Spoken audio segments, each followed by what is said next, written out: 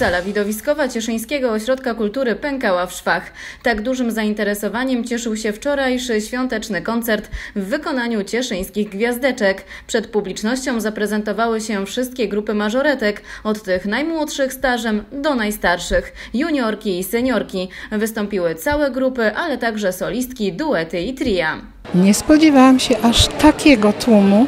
Ostatni koncert czerwcowy też był bardzo licznie odwiedzany przez widzów, natomiast ten przechodzi nasze najśmielsze oczekiwania. Na co zbieracie? W tej chwili staramy się pozyskać środki na zakup firmowych koszulek. W tym roku dzięki rodzicom zakupiliśmy przepiękne bluzy całoroczne. Dziewczynki po raz pierwszy w tych bluzach tańczyły 11 listopada.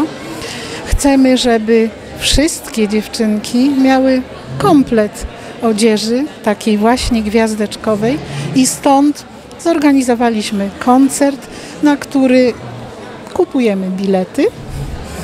I dzięki temu będziemy na pewno mogli sfinansować zakup. Ale jeszcze powiem jedną rzecz, że na tę okoliczność wydrukowaliśmy również kalendarze, kalendarze mażoretkowe, które też będziemy sprzedawać wśród chętnych, wśród rodziców, a że pozyskaliśmy również fantastycznych sponsorów, to mam nadzieję, że ten zakup nam się uda.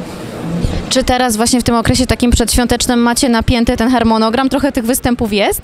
bardzo napięty. Proszę sobie wyobrazić, że po dzisiejszym koncercie to nie koniec. W niedzielę bierzemy udział w jarmarku świątecznym. 20 grudnia tańczymy na meczu charytatywnym, na którym środki pozyskiwać będziemy dla bardzo ciężko chorej dziewczynki z naszego regionu.